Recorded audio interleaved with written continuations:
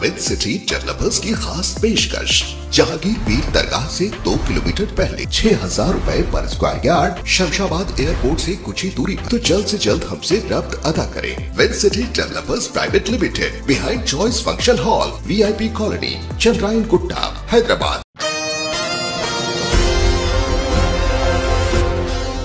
Majlis Sabeel Khair की head office पर बतारीख 16 मई बरोज़ मंगल को एक मीडिया कॉन्फ्रेंस मुनद की गई। इस मौके पर मीडिया से खिताब करते हुए मुफ्ती मल्लाही ने तमाम तर तफसीत बताई। इस मौके पर नायब सदर हसन बहमद और मोतमद अहमद बिन साले अल सादी के अलावा हबीब आसिफ जिलानी और दिगर भी मौजूद थे। मुफ्ती मल्लाही ने मीडिया कॉन्फ्रेंस से खिताब करते हुए कहा कि कब्रिस्तान से मुतसिल कुछ मलगियाँ हैं जिसे रोड वाइडनिंग के तहत मुनदिम करने के लिए नोटिस जारी की गई थी। अगरचे रोड वाइडनिंग के तहत ये मलगियाँ डेमोलिश की जाती है तो इससे कई सारे लोग बेरोज़गार होने के इम्कान थे। इस खसूस में मनज़म तरीक़े से तमाम तंजीम के ज़िम्मेदारान ने सदर मजलिस से नुमाइंदगी की, जिस पर सदर मजलिस बैरिस्टर असदुद्दीन ओवैसी और मजलिसी फ्लोर लीडर अकबरुद्दीन ओवैसी ने ज़िम्मेदारान को वक्फ बोर्ड से रुजू करने की हिदायत दी, जिस पर तमाम ज़िम्मेदारान ने वक्फ बोर्ड पहुंचकर इस मसले को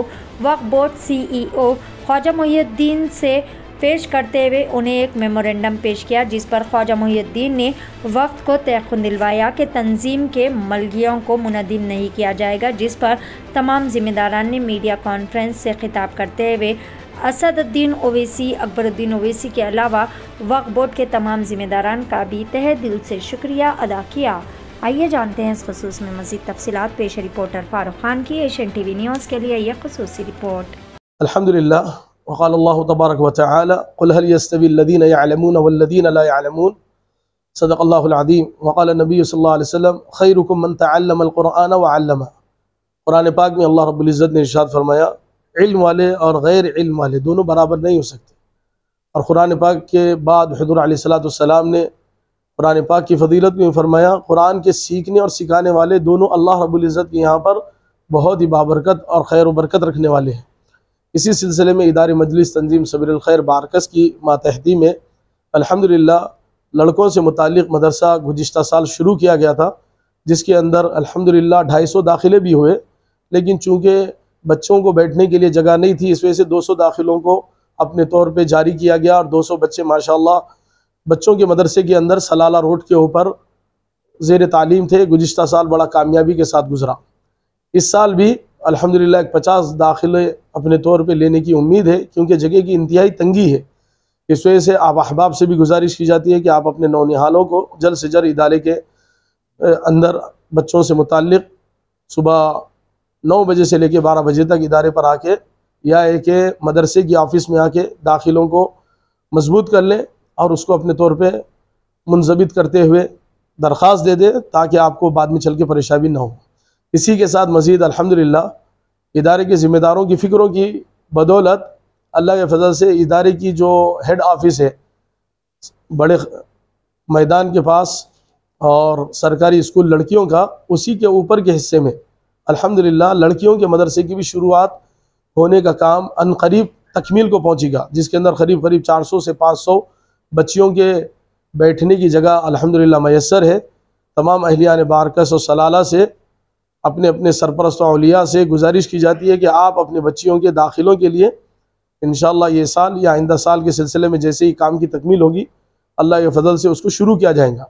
इस वजह से इस सिलसिले में फ़िक्रमंद हो जाए और दोनों मदरसों के अंदर, लड़कों का हो या लड़कियों का हो, इदारे के ज़िम्मेदारों की वजह से जो ज़ेर सदारत हसन बिन अबू सादी साहब होता है, अल्लाह फजल से तालीम मुकम्मल तौर पर फ्री है। तालीम फ्री है, बच्चों के लिए दाखिले फ्री है अच्छे से अच्छी तालीम का निज़ाम है, जिसमें दीनी व असरी दोनों तालीमों के देने का अपने तौर पर मुकम्मल इरादा है, पुख्तगी के साथ है और अलहमदिल्ला वो जारी भी गुज्त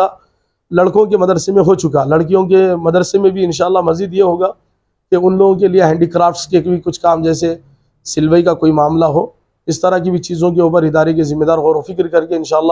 उसको मुनासिब वक्त के अंदर शुरू करेंगे। अल्हम्दुलिल्लाह आज की इस मीटिंग के अंदर अपने तौर पर सरबंदा सरपरस मुफ्ती उमर अबकर मल्लाही, नायब सदर हसन बिन अहमद बाहमद साहब और नायब मतमद हसन, अहमद बिन साल सादी साहब है और हमारे सदर जनाब हसन बिन अबू सादी साहब की इजाज़त से और आपकी अपनी मशगूलियत की वजह से वो अपने तौर पे शरीक नहीं हुए। हमारे हर दिल अज़ीज़ मेहमान के तौर पे हबीब आसिफ साहब भी इस इजलास के अंदर शरीक रहे। अल्लाह रब्बुल अपने तौर पर हम तमाम से इदारे की खदमात को पूरे आलम के अंदर कबूल मंजूर फरमाते हुए इदारे के ज़िम्मेदारों की जान माल इज़्ज़त आबरू की हिफाजत फरमाएँ